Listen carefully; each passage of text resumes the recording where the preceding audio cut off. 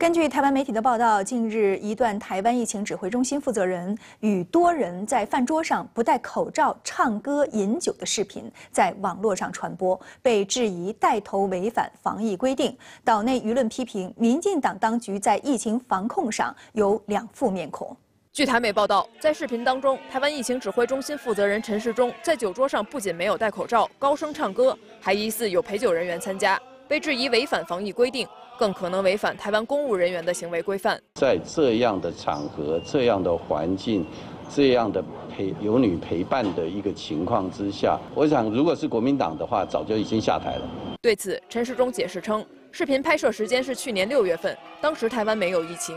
台北市议员游淑慧在社交媒体发文揭批，从二零二零年六月七号开始，根据台湾防疫规定，公共场合用餐每桌最多八人，而且要采取加隔板、公筷等措施。视频中显然是因为陈时中在，大家觉得无所谓。你把我禁得要死，结果你自己类似的场合你都你都这样去了，好意思还在这个位置来指挥吗？大家就会怎么想？对于陈时中被爆出负面视频，舆论批评称，民进党当局一方面声称超前部署，把疫情防控当作成绩，另一方面台湾防疫主要负责人却把防疫规定当儿戏，明显是公开一套，私下却是另一套。